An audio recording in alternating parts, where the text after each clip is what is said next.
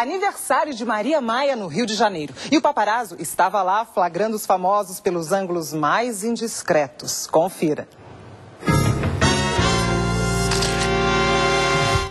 Mais uma festa de aniversário de famosos.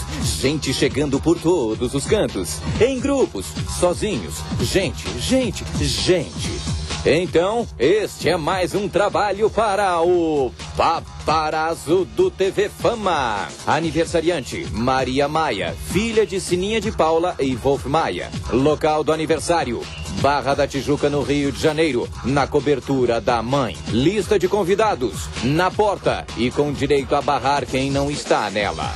Quantidade de convidados, há muita gente, viu? Começamos com o ex-marido dela, Hernani Moraes, que trouxe flores. Aliás, ele aproveitou para dizer que quem mandou as flores foi o pai. Esquisito, né? Coisa de celebridade. O pai, na realidade, chegou acompanhado, mas do filho Gabriel e de um sobrinho. Meu filho Gabriel deixar minha outra filha, Marina. Quanta gente chegando junta.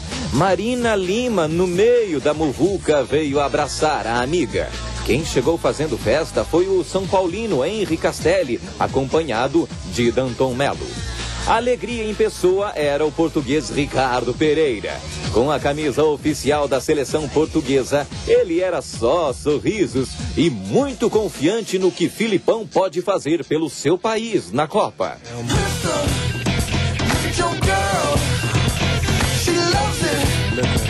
Chegaram juntos Anderson Miller e Guilherme Piva.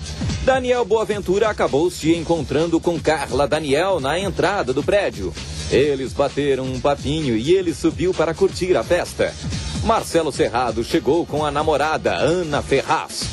Perceba que os dois entram no elevador e ela soltando os cachorros no ator. Será que é porque ela fica sempre para trás?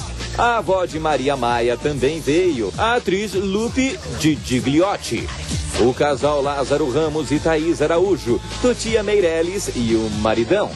Niso Neto com a esposa. Malu Vale e Luiz Henrique Nogueira também vieram. Detalhe, a maioria sem presente. Uma das únicas que trouxeram foi a atriz Cláudia Rodrigues.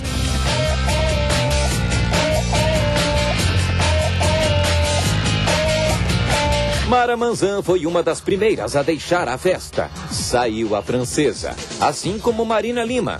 Mas o nosso intrépido paparazzo pagou uma fortuna para um dos vizinhos de Sininha de Paula e foi conferir a festa de cima.